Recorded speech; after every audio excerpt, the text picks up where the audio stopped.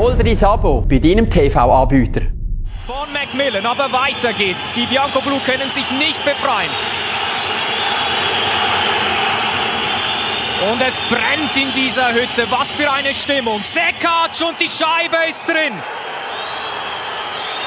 Elfte Spielminute, das ist das 1 zu 0 für Lausanne. Was für ein super One-Timer von Jirschi Sekac, bereits Saison zur Nummer 20.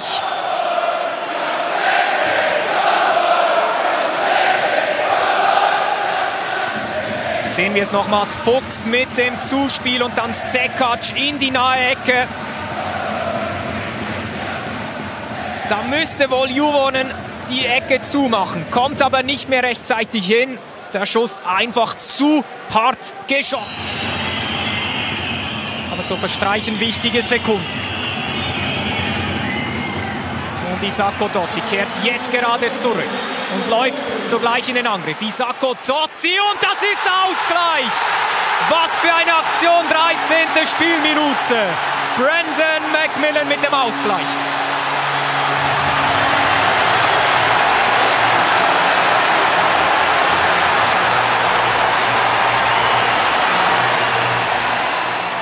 Wow, was ist denn das für eine Effizienz?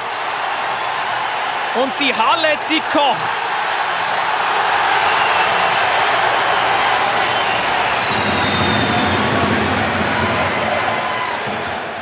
Hier sehen wir es nochmals. Isako Dozzi, der von der Strafbank zurückkehrt, übernimmt die Scheibe mit der, mit der scharfen Hereingabe und Brandon McMillan lenkt unhaltbar ab.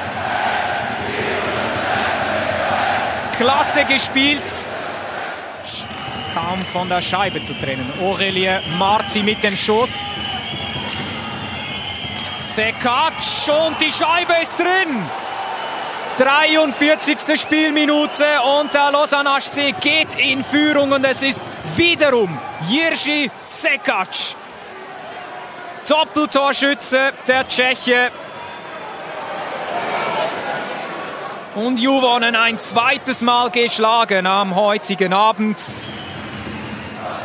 Klasse Partie von Jirschi Sekac und das freut natürlich die mitgereisten Lausanne-Fans. Da hat es vielleicht ein Dutzend der Gästesektor ja nicht offen. Und ja, da sieht Juvonen nicht gut aus.